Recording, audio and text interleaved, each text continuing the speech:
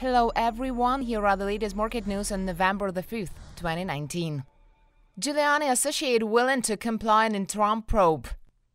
Lev Parnas, an indicated Ukrainian-American businessman who has ties to President Donald Trump's personal lawyer Rudy Giuliani, is now prepared to comply with requests for records and testimony from congressional impeachment investigators, his lawyer told Reuters on Monday. Parnas, who helped Giuliani look for dirt on Trump's political rival, former Vice President Joe Biden, is a key figure in the impeachment inquiry that is examining whether Trump abused his office for personal political gain.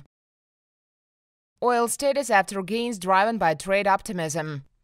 Oil prices steadied on Tuesday as investors kept an eye on U.S. inventory data due later following two days of gains on positive economic data and hopes for a U.S.-China trade deal. Brent crude futures were up 4 cents at $62.17 a barrel. WTI crude futures were down 1 cent at $56.53 a barrel. U.S. crude oil inventories were forecast to have risen last week, while refined products stocks likely declined, a preliminary poll showed on Monday. U.S. Navy reaches agreement with General Dynamics.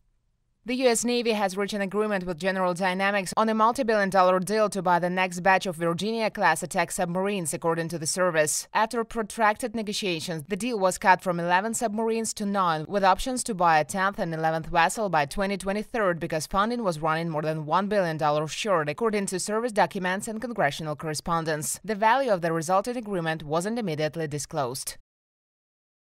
Dollar increases on trade deal hopes.